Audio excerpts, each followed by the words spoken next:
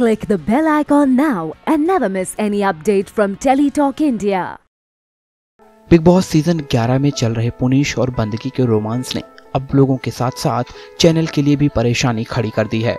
खबर है कि अब शो का टाइम बदलने पर विचार किया जा रहा है।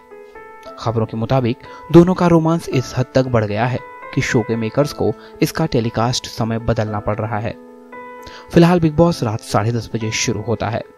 लेकिन पुनीश और बंदगी के कारण शो की टाइमिंग रात 11 बजे करने पर विचार किया जा रहा है।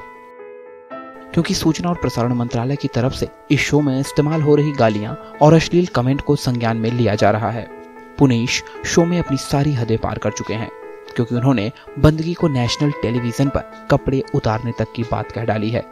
यहाँ तक कि अभी हाल ही के एपिसोड में दोनों घर के बाथरूम में काफ़ी देर तक एक साथ रहे, वहीं बंदगी भी कुछ कम नहीं है। क्योंकि वो भी शो में पुनीश के लिए अपने प्यार का इजहार कर चुकी हैं।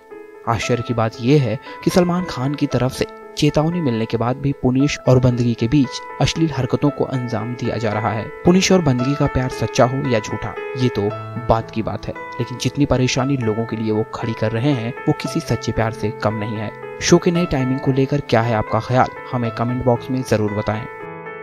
Agaram Bollywood gossip news and more. Download the Zoom app now.